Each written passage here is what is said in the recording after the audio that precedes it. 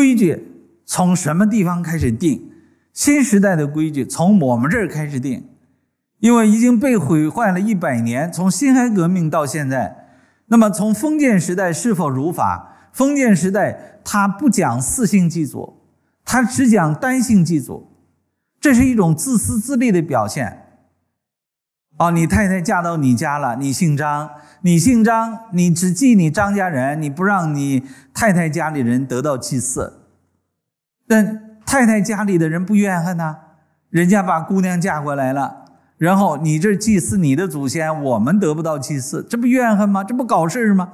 但是这个遗传从哪里来？这个传这是封建的残余，这是错误的。那个时候他们不知道，我们身上有两种 DNA 都是传代的，也就是说，今天告诉我们儿女儿子是传代的，传宗接代的，女儿也是传宗接代，传的什么？传的祖先身上的 DNA，不是血液，是 DNA。科学告诉我们了，女的也在传代。不是女的就不传传代了，因为你身上也是爹妈的 DNA，你哥哥身上也是爹妈的 DNA，你们是平等的。对后代子孙来讲，好，你姓张的，你这个你连你比方我妈妈姓毕，我又不祭祀我的妈，我妈的毕家的这个这个列祖列宗也得不到祭祀。那么在我身上，我一半基因是姓张的基因，一半基因是姓毕的基因。那姓张的基因我祭祀了，我通过祖先的力量消了业了。姓毕的这一半就没有祭祀，就没消业。那你身体就一半好，一半什么不好？这是对你也不利。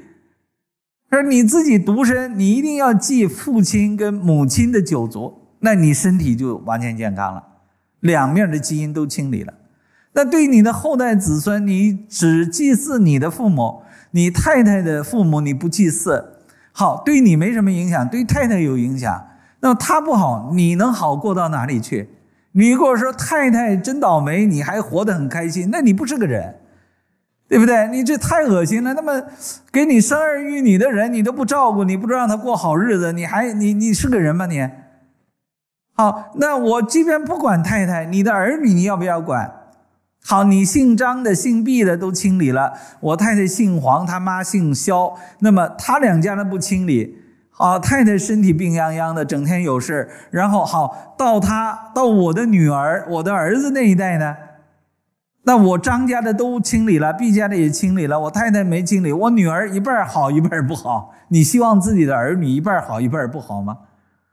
因为它上面有这个黄性基因，有张性基因。张性里面又暗含着毕性基因，黄性基因里面又暗含着肖性基因，因为他的外公外婆、爷爷奶奶没清理好，所以大家要懂我们规矩，新时代的规矩，我们是根据科学恢复了四性祭祖，不是一个单性祭祖，因为我们要修不二法，跟众生都不二了，你还自己家里还搞个二性三性。还这个不可以，那个不可以，那你怎么能够修成这一生？你怎么能够修成佛？怎么能够究竟圆满呢？